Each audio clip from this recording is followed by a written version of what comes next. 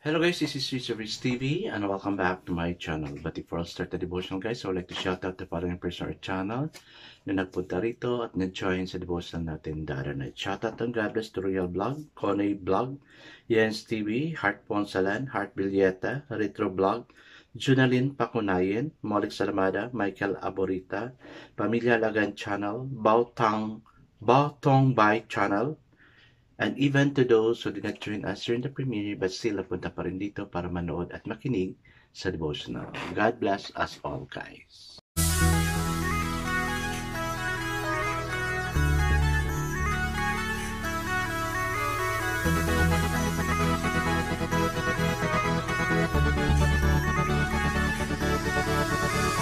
TV, where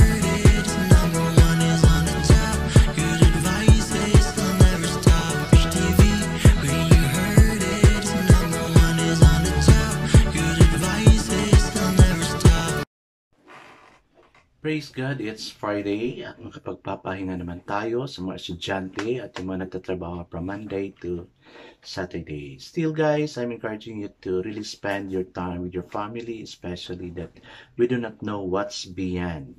God is in control. Ito lang naman yung ano ko, advocacy ko. Dapat uh, we always prepare and spend time with our family together. Okay, let's now proceed to our devotional. Let's open our Bible to Deuteronomy chapter 31 verses 15 to 22 31 15 to 22 still guys I'm using the devotional study bible because the words used is so simplified na maintindihan talaga natin. Okay this is about Israel's rebellion predicted. So the word of the Lord in Deuteronomy 31 verses 15 to 22 says then the Lord appeared at the tent in a pillar of cloud and the cloud stood over the entrance to the tent and the Lord said to Moses, You are going to rest with your father, and those people will soon prostitute themselves to the foreign gods of the land they are entering. They will forsake me and break the covenant I made with them. On that day I will become angry, angry with them and forsake them. I will hide my face from them, and they will be destroyed. Many disasters and difficulties will come upon them, and on that day they will ask, Have not these disasters come upon because our God is not with us? And I will certainly hide my face on that day because of all their wickedness in turning to other gods. Now write down for yourself this song and teach it to the Israelites and have them sing it, so that it may be a witness for me against them. When I have brought them into the land flowing with milk and honey, the land I promised an oath to their forefathers, and when they eat their feet, their fill and tribe, they will turn and other they will turn to other gods and worship them, rejecting me and breaking my covenant. And when many disasters and difficulties come upon them, this song will satisfy against them because it will not be forgotten by their descendants. I know what they are disposed to do, even before I bring them into the land I promised them and on oath. So Moses wrote down this song that they and taught us and taught it to the Israelites. Amen and amen. Guess let's now pray. Lord, teach us not to be like the Israelites, O God, na turning our back against you, O God. But instead, at this time of needs, makafocus kami sa iyo, O God. Especially that we do not know what will happen uh, beyond in our future, O God. Lord, teach us to really stand in you. Bigyan mo kami ng faith, O God, bawat isa sa amin. Yung mga andito ngayon, nanonood, nakikinig, O God. Give us the courage to really serve you, O God, and not to betray you, O God. Kasi Lord, and every problem and every need we have, sa iyo lang kami dumudulog, O God. That's why, Lord, we pray, teach us, convict us to really go near you and serve you, Lord God, like what uh, Moses have done. Teach us to sing new songs, O Lord God, songs of praise, to praise and worship you. Lord, teach us, O God, to sing new songs to you, O God. In Jesus' name I pray. Amen and amen. Okay, guys, our focus verse for this evening is found in Deuteronomy 31, verse 32.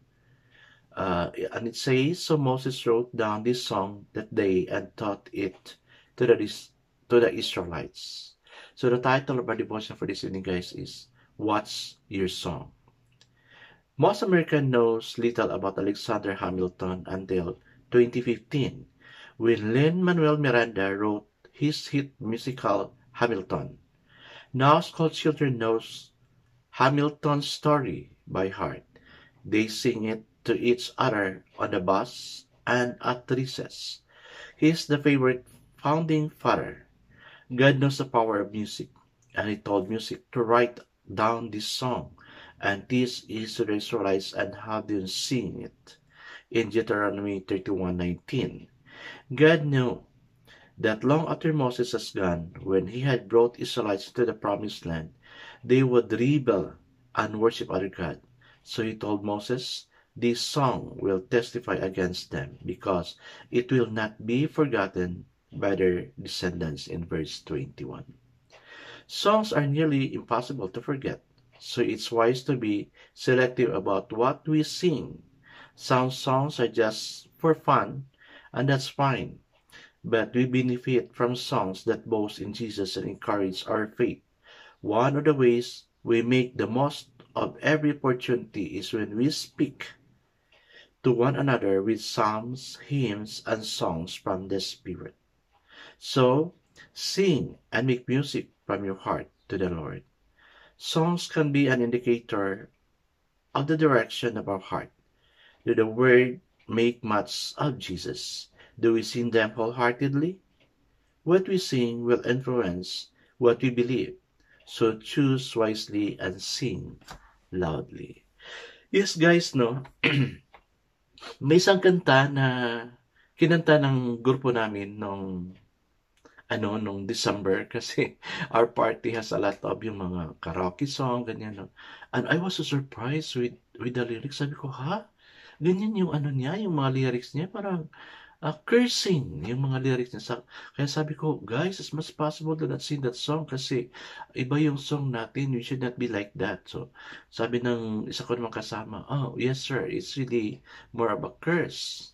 Sabi ko, wow, napaka-ano naman. Very opposite sa mga sina, kinakanta natin, no? Kaya guys, no, uh, let's uh, teach ourselves to sing songs. Maski yung mag-sing lang tayo in the spirit, no? Even if we're quiet, maka-sing the spirit tayo. Ako, that's what I'm doing, especially if yung na, ang paligid ko, maano, yung uh, maingay, and then so uneasy, you know. So, ako, I just sing with the spirit. I keep quiet, but yung mind ko, no, nagsising na, nagpe-praise and worship na. Kaya let's uh, use our talent in singing for God's glory, not for the world, no. Kasi, sometimes parang we are bullying ourselves, we're bullying God, no? Parang we sing songs just to ano, yung to please the world, but ang maganda talaga is we need to please God, no? Na matuwa siya sa buhay natin habang nakakanta tayo. And at the same time, you can also praise and worship God in that way, no? Okay guys, let's proceed to the question. What should you look for in a worship song? yung biblical talaga, no? Kasi very, we have to be very discerning, maski nga sa YouTube ngayon. Uh, may mga gandang mga words, pero sabi ko, ha? Nice yung word niya, pero galing ba to sa Bible? No? Quote-unquote author. Mas maganda talaga guys na, na mag-refer pa rin tayo sa ano, yung the words of the Bible. May mga kanta na kinuha din nila yung lyrics sa Bible. Kaya that's what I'm encouraging you to sing. Second question, is there a favorite song you can sing more than more often? Yes. How great thou art. Then sings my soul. O, di ba? Ang daming, ano, kay Don Moen, yung uh, God will make a way. O, yun. Ang, ang dami-daming, ano, dami-daming mga kanta na favorite ko. Kaya, Many times, I use my cell phone to listen sa mga praise and worship songs, sa mga hymnal songs, kasi it glorifies God and it uplifts your heart and spirit. na ma-encourage ka talaga na, wow, Lord, ang ganda pala pag ganito, no? Okay, so, yun. No? So, guys, let's now pray.